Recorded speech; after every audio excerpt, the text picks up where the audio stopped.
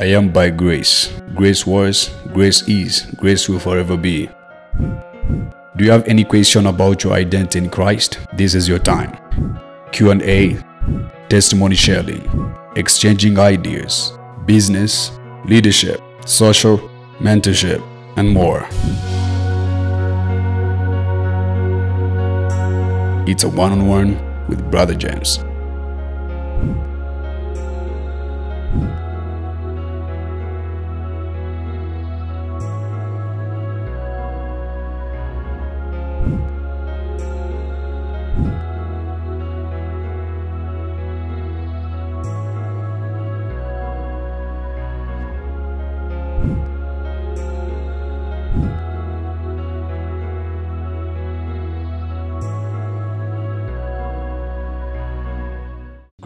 Beloved.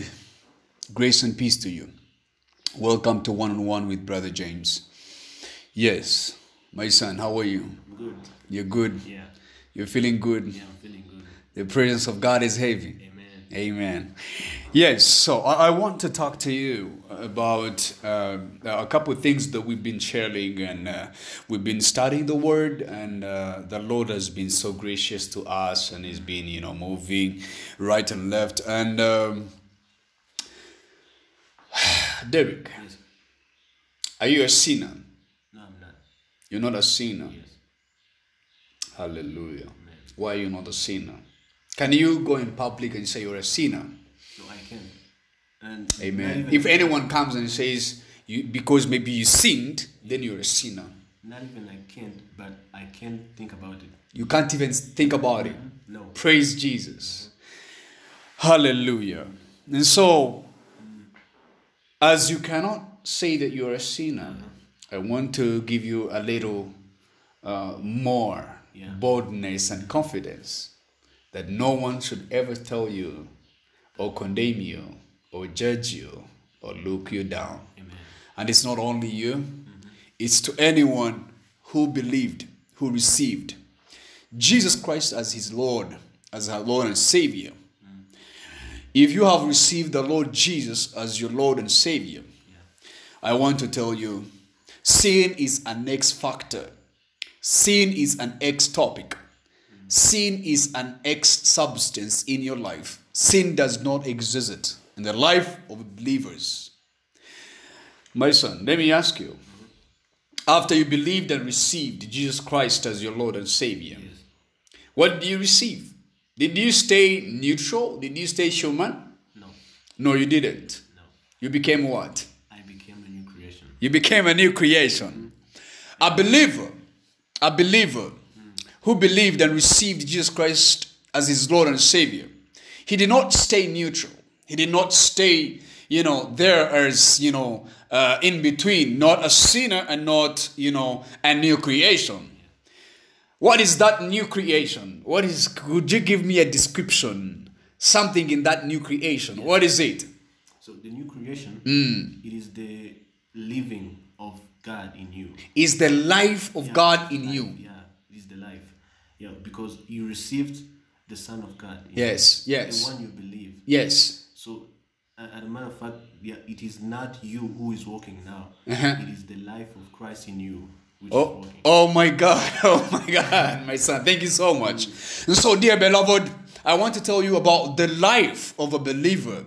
So, today, let's start about a little something that we said that we are not sinners, we are righteous people. That is the life of a believer. A believer is righteous, a believer is holy, a believer is blameless, a believer is pure and perfect and innocent of sin. There is no sin in the life of a believer. There's not even sin conscious. There's not even sin, you know, anywhere in his setting, in, in her setting. In your setting, there's nothing like sin. In your world, in the world of believers, Jesus Christ offered us, gave us a world of our own. We are in the world, but not of the world at all. Praise Jesus, beloved. And so, dear beloved, I want to give you a little scripture that says, and go to Matthew chapter 1, verse uh, uh, verse 21. The Bible says that was the revelation of Christ. This is a time that the, the, the Lord God was revealing the Messiah, was revealing the Christ to the world, was revealing the Savior to the world. And listen to this. That's why from today you will never and never call yourself a sinner. Not even anyone has a right, not even one person, not a preacher, because God Himself, who gave Himself up for you, He cannot call you a sinner anymore. He cannot call you a rebel anymore. He cannot call you disobedient anymore. He cannot call you weak anymore. He cannot condemn you, he cannot judge you. When He looks at you, He looks at His Son. Jesus Christ. He does not look at us in the lenses of our past. He looks at us in the lenses of faith, and faith is now. He looks at us in the image of His Son, Jesus Christ. And look at this, what He did, dear beloved. When the revelation of the Messiah was given, listen to the Bible. In Matthew chapter 1, verse 21, the Bible says, She will give birth to a son that is Mary. She will give birth to a son, and you are to give him the name Jesus. You are to give him the name Jesus. Jesus. Jesus, my beloved. Jesus. Jesus. Not Derek, not James, not Prophet Isaiah, not Moses, But Jesus. but Jesus. Hey! Ah, yeah, yeah, yeah, yeah, yeah. And when you receive him, you receive his life. Yes. Praise Jesus. Now look at this. And you are to give him the name Jesus. Pause. Comma. Uh-uh. Let's go to the meaning of Jesus. The Bible says next, because, in the same verse, he says, because he will save his people from their sins. Actually, I love how the Bible says his people. His His people. people. Those he knew, he also called. And those he called, oh my God, those he knew, those he predestined, he also called. And those he called, he also justified. And those he justified, he also sanctified. And those he sanctified, he also glorified. Amen. Praise Jesus. Amen. You're glorified. And then you have the very being of Christ in you Yes. the glorious being, the beautiful being, the awesome being of Christ, my son. Amen. Praise Jesus. And now you're proud to be called a believer. You're proud to be called a grace believer, Amen. not just a believer. Yes. Ah, because you can believe and believe in Buddha. In Buddha, you can be a Buddhist. You can be whatever. I don't want to mention every kind of denomination and belief and whatever. Yeah, you can be a believer of yourself, self belief. Ah, yeah. But that's not me. And that's not Derek. Eh, And that's not you, beloved. That's not you. That's not you. As Derek says, boldly and confidently, as he says, and that's not me, surely that's not you. You should not believe in anything else, not even in yourself. Self is destruction, self is evil, self is an ignorant wall that limits you to see Christ in you. It's not you, but Christ. Believe in Christ. It's not self belief, it is Christ in you, beloved. Praise Jesus. Because he will save his people from their sins. Hmm? My sin, your sin, someone's sin. Jesus Christ takes away the sin of the world. As John 1 says, John 1 29, the Bible says, the next day John the Baptist saw Jesus coming and he said, Behold, believe the Son of God, the Lamb of God, who takes away the sin of the world. Hallelujah. And now here, Jesus Christ took away your sin. The Bible says in 2 Corinthians chapter 5 verse 21, Jesus, God made him, God made Jesus, this man, Savior. Savior, Savior, Savior Jesus. Savior. Why is he called Savior? Why is he called Savior? Save me from what? Save you from what? Praise Jesus. It's not about saving you from poverty, saving you from, you know, anxiety, saving you from works of the flesh. No, flesh itself, sin itself. Praise the Lord. Not saving you from fear. No, the issue, something that brings fear. The source. The source. He dealt with the source. He dealt with the root. Mm. And he set us free from the root. Praise Jesus. He set us free from the nature. Hallelujah. He became sin. God made him who had no sin to become sin for us so that in him we may become the righteousness of God. And then you became righteous. Not of your works. Not by doing anything so that you may become, but by believing that you become. Praise Jesus. As John the Baptist tes- testified and he said, Behold the Lamb of God who takes away the sin of the world. John chapter 1, verse 29. Behold, the next day John saw Jesus coming toward him. The man who was to prepare the way.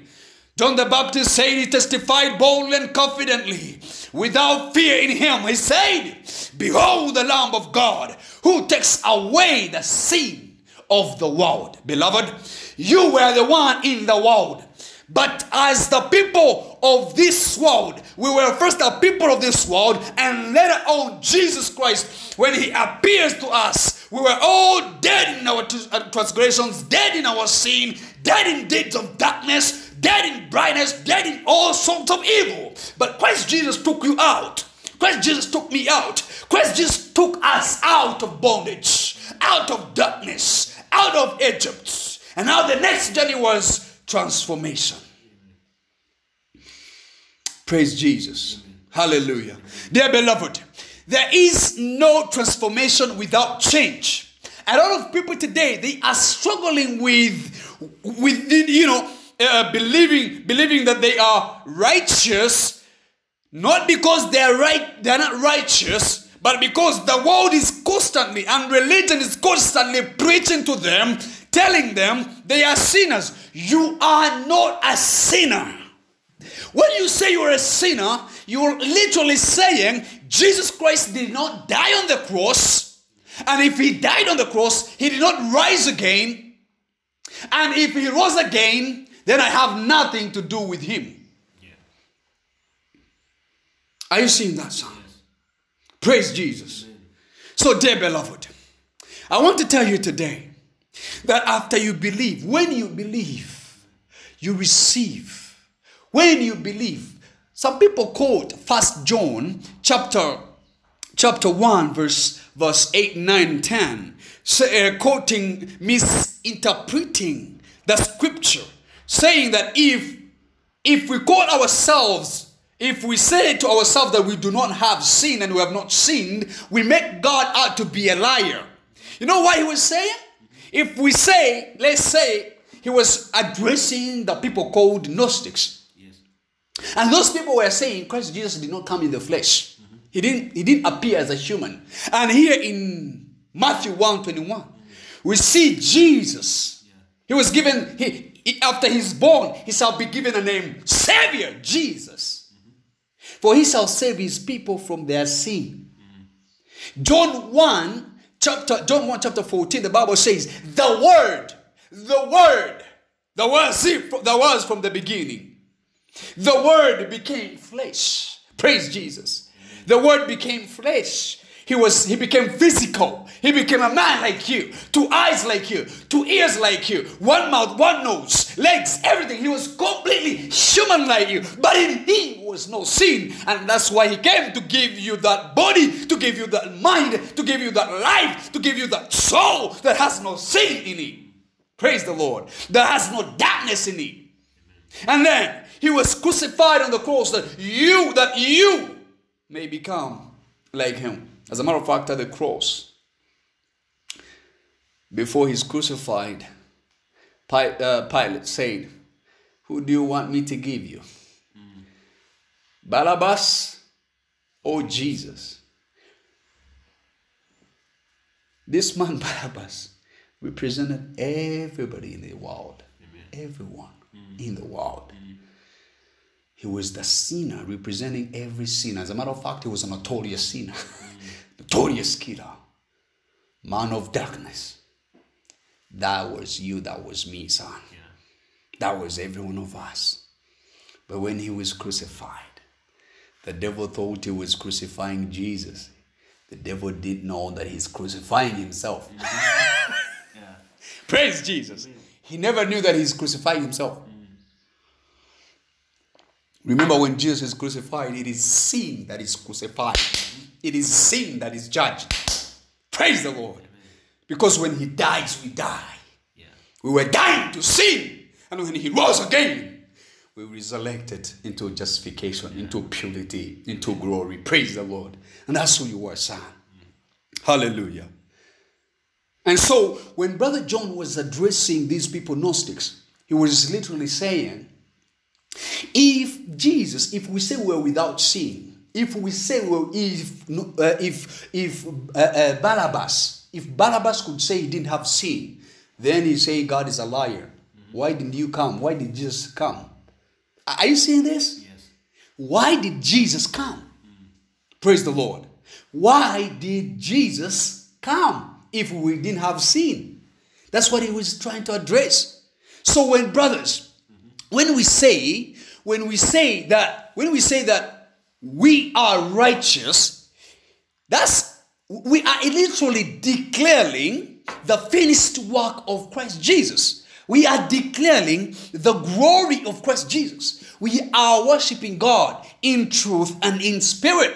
In truth is the truth is we were sinners and we received the grace to be righteous without our effort. Christ Jesus came full of grace and truth. The grace was the power of God to save us. Are you seeing this? I'm not ashamed of the gospel. Romans 1:16. I'm not ashamed of the gospel, brother, for it is the power. Hallelujah. I'm not ashamed of the gospel, for it is the power of God for the salvation of those who believe. Not those who walk broke, not those who perform broke, not those who cover themselves bro. but those who believe. And you believed, my son. Yes. You believed. I believed. And you became. And I became. Hallelujah. Amen. You're not calling yourself righteous. He called you righteous. You're not making yourself righteous. He made you righteous. Mm. And it is all in the cross. Amen. It is all in the cross and the resurrection. Praise Jesus. So, dear beloved, when people don't, you know, testify boldly and confidently the cross of Jesus and the resurrection of Jesus, it means they are actually saying he didn't come.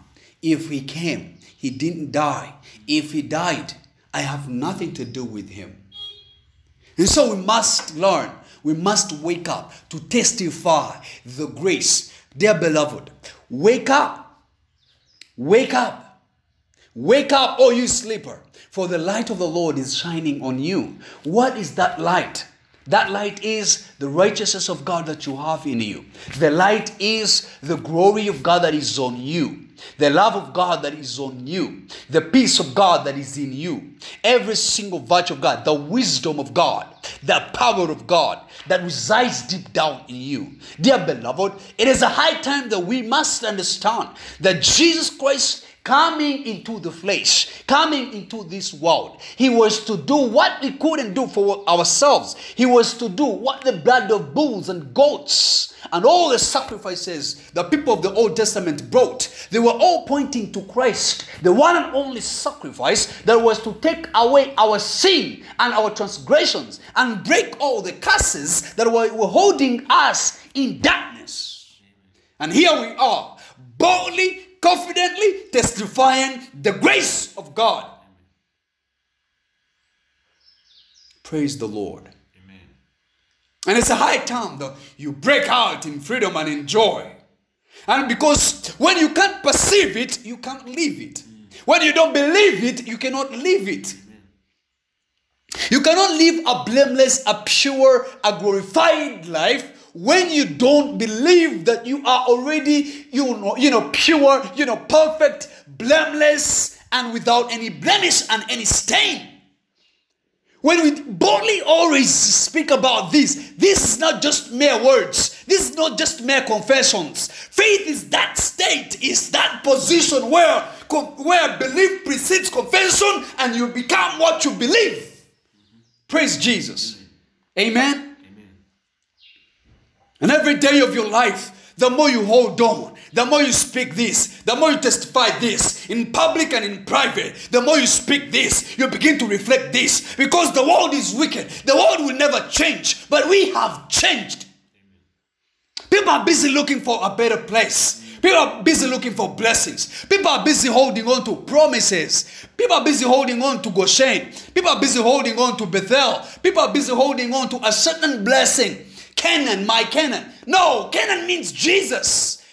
He was the promise. He is all that you need. You need the Savior, and the Savior does not come to give you this world. The world, you have it before He came. You had the blessings, brother. So, what you need to pursue is transformation. For change, you have received. So, today, what you need, you know what you need today?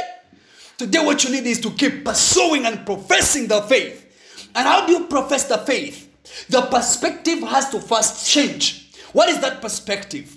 I am a sinner. No, never say that. I am weak. No, never say that. I am confused. No, never say that. I am poor. No, never say that. No, you don't say I am that.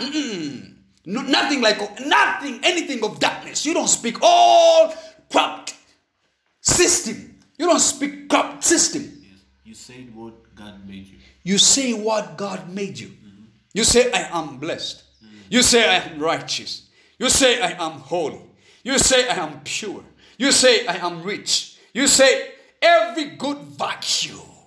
Even when you see you're sick, like literally your body is, you know, facing illness. You say, I am healed in the name of Jesus. I am pure and perfect and healthy. I shall not face any sickness in my body.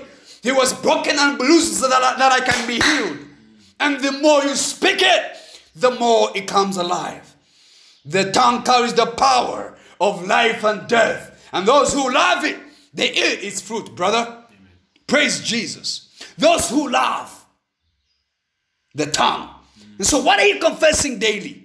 You will confess nonsense. You confess nonsense, you live by nonsense. As a man thinks, so he is. So if someone thinks he's righteous, then he will live righteous. Yes. The greatest enemy of knowledge is not ignorance. Mm. It is illusion of knowledge, mixture. Imagine God made you righteous and you're literally saying, I'm a sinner. Ha! No more, brother. No more calling yourself what you are not. Call yourself what the Bible calls you, and the Bible is God Himself. That word you're reading daily, it is God breathed. And when you read it and you feel condemned and you feel judged, change perspective. Change perspective. Change the lenses through which you're looking at the Word of God. And the more you see the Word of God loving, kind, patient, tolerant, man, you begin to reflect the Word. You begin to live the Word, my son. And I believe you've begun to live the Word. Keep testifying. No matter what the world says, no matter what the reality screams, when it screams nonsense, scream life. Hallelujah. When he says you're wrong, he say, I'm right, devil. You're under my feet. I know you always convinced me yesterday. I'm not a person of yesterday. Yeah, yesterday you had a chance to convince me, but today you can't convince me. Hallelujah. Today can't convince you. Today can't tell you nonsense. Whenever he screams, tell him, You are under my feet. My feet. It's too late. It's too late. Praise Jesus. It's too late for him to judge you. It's too late for him to condemn you. It's too late for him to, you know, uh, uh you know, state on you. Hallelujah. Praise Jesus. Dear beloved, thank you so much for uh, uh, listening to this teaching. And I want to encourage you, I want to remind you that who you are in Christ Jesus is the foundation of your life and that is righteousness. That is you are righteous. That is you are holy. That is you are pure. That is you are perfect. That is you are loved. That is you are blessed beyond numbers, beyond measure.